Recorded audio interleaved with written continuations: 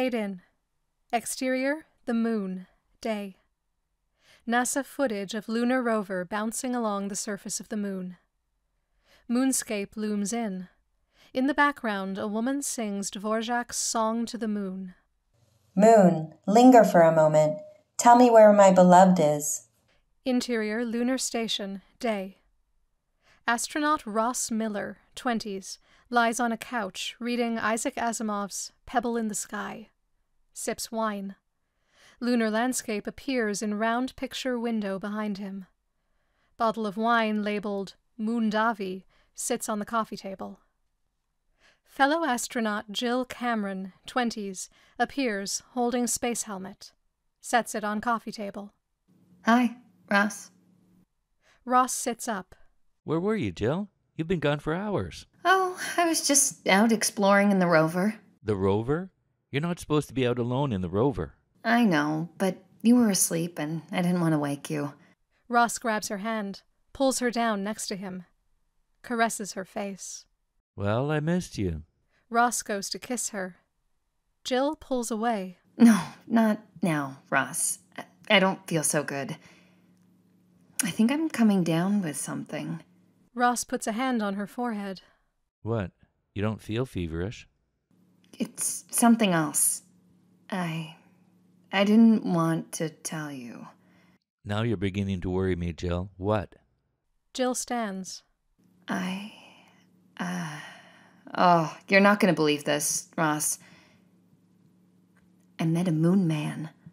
A moon man? You're kidding. No, really. I was out exploring in this cave and he just jumped out of nowhere. Scared the hell out of me, let me tell you. You can't imagine, but he turned out to be really nice. A real gentleman, you know? What? How was I supposed to know he had something? Ross stands. You caught something from a moon man. Jill touches a cold sore on her lip. I think so. Well, maybe. You got that from a moon man? What were you doing?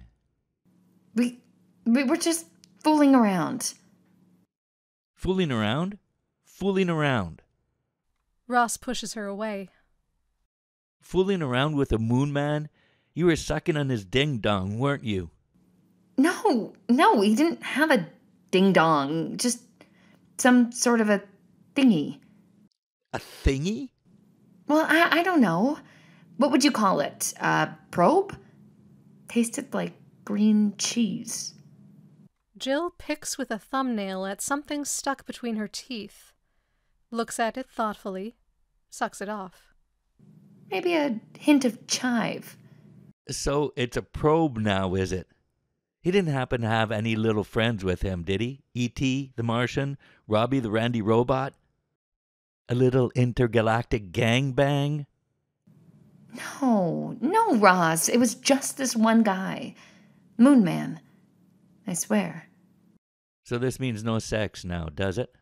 Well, not till I can get checked out back on Earth, I guess. You think they've got tests for this sort of thing, Ross?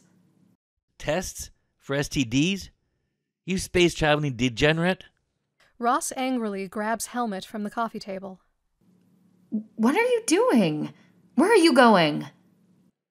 I'm gonna go find me a moon woman, that's what. Two can play that game, Jill. Just be glad you're not on Venus. Venus? Why Venus? Ever hear of venereal disease? Venus, the goddess of love? They probably got all kinds on Venus. But don't worry, Jill. I'll bring a condom in case she's got a thingy too. A thingy for me. Ross leaves in a huff. Jill watches him go, makes a face, picks up his glass of wine. Facing window, sings Amore. When the moon hits your eye like a big pizza pie, that's amore. When the world seems to shine like you've had too much wine, that's amore. Jill sips wine, purses her lips with a kiss at the window, makes Italian gesture with her fingers. My moon man, you are out of this world. Mwah! Fade out.